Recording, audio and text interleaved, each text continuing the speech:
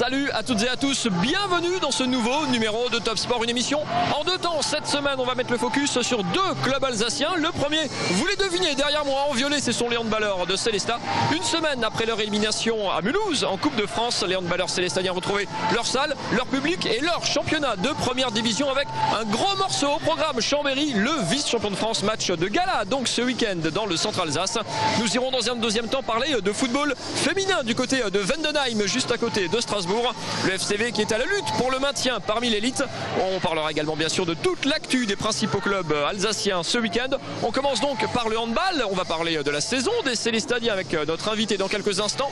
On commence bien sûr par le résumé de cette rencontre. C'est parti. Un match de gala, une salle à guichet fermé et le souvenir du match aller où Célestat avait arraché le nul. Tous les ingrédients étaient là au coup d'envoi. Et les violets rentrent bien dans le match. Le bras gauche de François-Marie donne le tempo et le mano à mano commence entre les deux équipes. Deux partout, puis trois partout, avant le premier coup d'accélérateur de Célestat. Frédéric Borgard allume à tout va. Ses cinq buts en première période poussent Célestat devant. Les violets font la course en tête et c'est le vice-champion de France qui doit cravacher derrière. Banic. Et le ballon récupéré par Célestat Petrenko pour Arnaud Frépel qui part en contre-attaque et qui va marquer 7 à 4. Célestat fait un petit break et qui plus est en infériorité numérique. Efficace, devant, les Alsaciens se montrent aussi costauds en défense, Laszlo Fulop y va aussi de son petit festival. Banic qui va trouver sur l'aile Patti et encore un arrêt de Laszlo Fulop qui est parti pour faire un grand numéro. Déjà trois arrêts. Pavel Potsiadlo qui va aussi de son but, mais Chambéry s'accroche et Bikanic limite la casse. À la pause, Célestat mène d'un petit but, 14 à 13. En seconde période, le chassé-croisé reprend et les égalités se multiplient. 14-14, 15-15, puis 17-17. Mais Célestat va connaître un petit trou, moins efficace. Les violets tombent aussi sur un très grand Cyril Dumoulin. Dans les buts savoyards, le deuxième gardien de l'équipe de France enchaîne les parades et permet à son équipe de faire un petit break à un quart d'heure de la fin. Un trou que Célestat ne parviendra jamais à combler. Nguessan qui trouve la lucarne. Va y mettre des buts assez magnifiques, hein, là, les Chambériens. Chambéry mènera de 6 buts, 28-22. Olivier Marou à l'aile clôt finalement la marque à 30 à 25.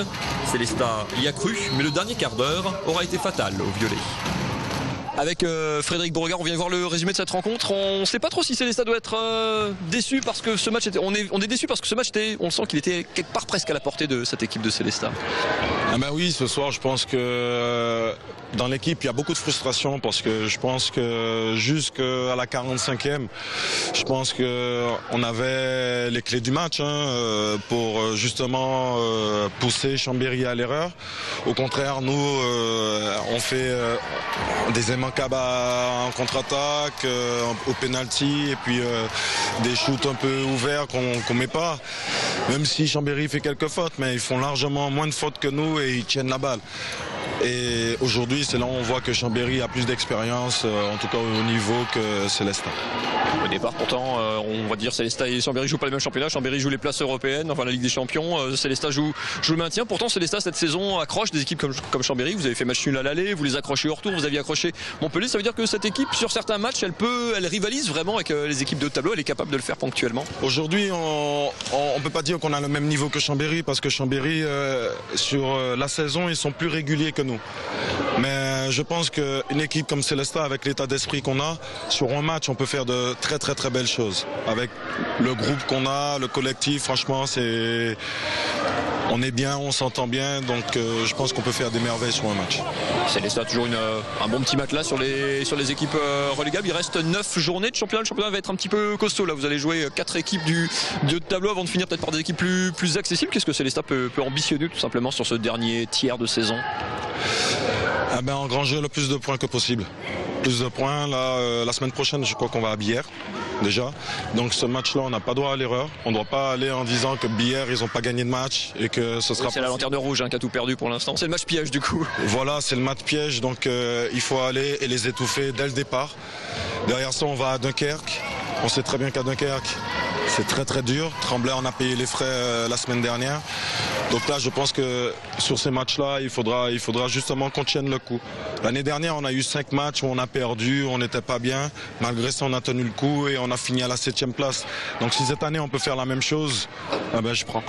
Pour terminer simplement, on est qu'au mois de mars, on voit qu'il y a beaucoup de joueurs, notamment de joueurs cadres, hein, là Fulop, Arnaud Frepel, Yuri Petrenko, qui ont prolongé leur, leur, contrat pour la saison prochaine. Avec Célesta, ça montre qu'on euh, travaille vraiment dans la, dans la continuité avec Célesta, que ce groupe est, est sain aussi quelque part. Oui, euh, je peux dire qu'à Célesta aujourd'hui, euh, la plupart des joueurs, euh, ils se sentent bien dans la ville. Ils ont envie de justement euh, ben, avoir ce que je pense le handball perd un, peu des joueurs de club, des joueurs qui restent là pour, euh, pour le maillot et euh, pour, le public. Donc euh, par rapport à ça, Célesta, Célesta a beaucoup de chance et puis toute manière, ils font tout pour que justement les joueurs soient dans les meilleures conditions. Et les prochains matchs pour les Violets, ce sont donc deux déplacements. Le premier à Bière, c'est à côté de Pau. Le second donc à Dunkerque. Prochain match ici à Célestat, la réception de Toulouse. Ce sera le 13 avril. On a un petit peu de temps pour préparer ça. On va passer à la deuxième partie de cette émission. On va parler de football féminin. Evendenheim à la bagarre pour le maintien. Ce sera dans deux petites minutes. Le temps de filer du côté de Strasbourg. Le temps aussi de regarder l'essentiel sport, la séquence rattrapage des résultats du week-end pour les clubs alsaciens. C'est parti. Terminus, tout le monde descend. En hockey sur glace, la saison est terminée pour les deux clubs alsaciens. Strasbourg n'a pas pu créer l'exploit contre Briançon en quart de finale. Briançon, troisième de la saison régulière, s'est imposé 4 à 1 samedi en Alsace et se qualifie pour les demi-finales, trois victoires à une. En barrage de maintien, série catastrophe pour Mulhouse, relégué en première division après sa défaite à Caen. Déjà battus deux fois sur leur glace de Lilleberg la semaine précédente, les Mulhousiens ont été incapables de se montrer à la hauteur de l'enjeu. Ils retrouveront donc l'AD1 la saison prochaine, un an seulement après l'avoir quitté. Sale week-end aussi pour les footballeurs alsaciens. En national, Colmar a enchaîné une cinquième défaite consécutive et regarde désormais vers le bas du classement, car si le podium est désormais à 13 points, les Verts n'ont plus que 8 longueurs d'avance sur le premier relégable. En CFA, une fois n'est pas coutume, seule sa réunion a le sourire.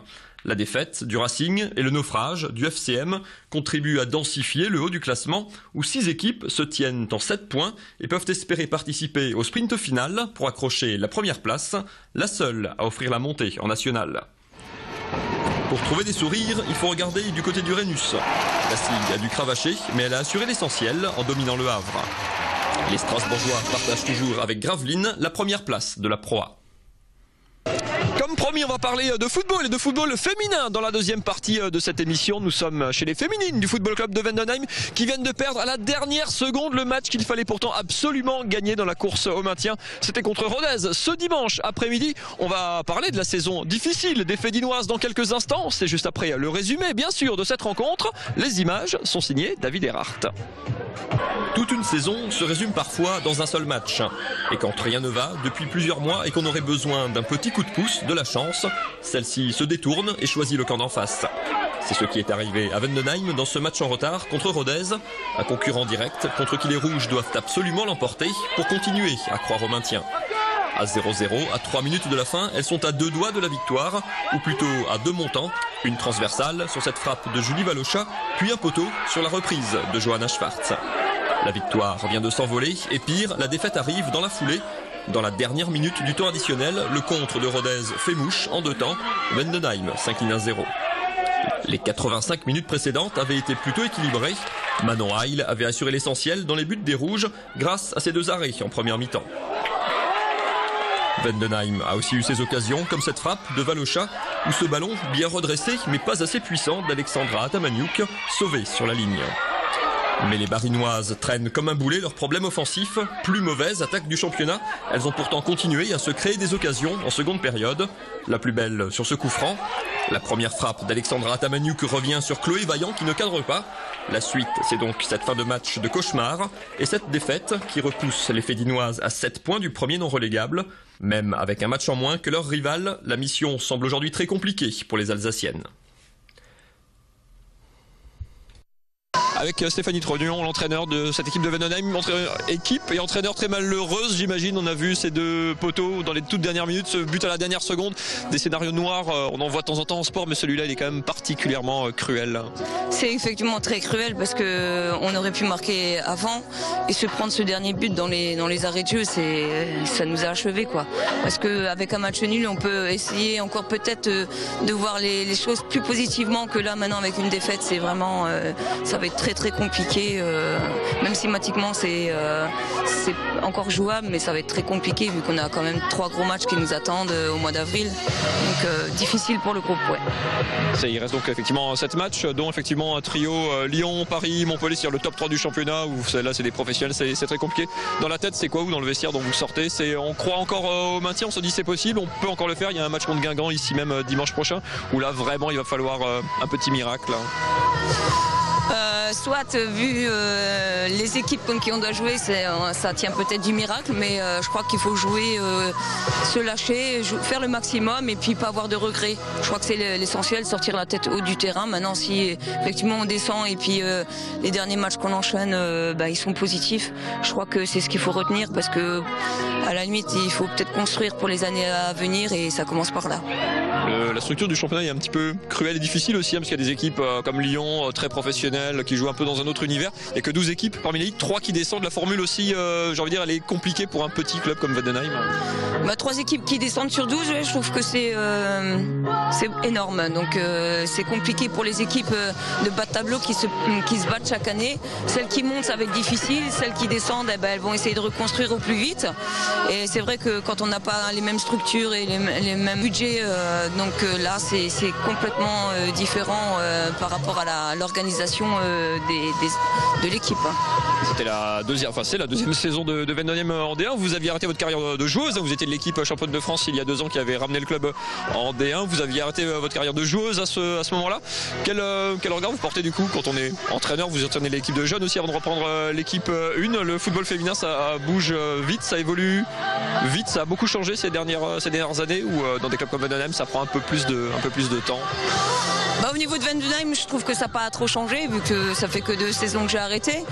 Euh, donc pour l'instant non, j'ai pas vu de changement. C'est peut-être plus au niveau des, grandes équipes, mais je les ai pas vraiment vues jouer étant donné que je m'occupais des, U19. Donc je verrai ça euh, dans, les, dans les prochains temps.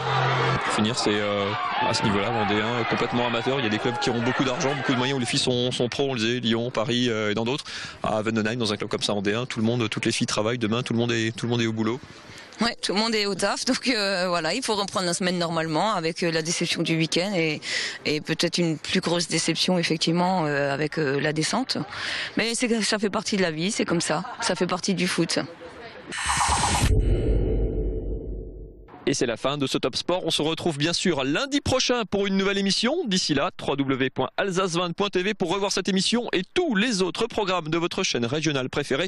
Vous avez rendez-vous avec du basket ce week-end. SIG Cholet, c'est vendredi soir. Orenus, émission spéciale sur Alsace 20, les meilleurs moments de cette rencontre. Interview, réaction avec Aurélien Gasser, tout ça dans les conditions du direct. Rendez-vous samedi à 17h30 sur Alsace 20. Et pour euh, ma part, je vous retrouve lundi pour un nouveau Top Sport. Bonne semaine à tous, faites du sport. Bye bye.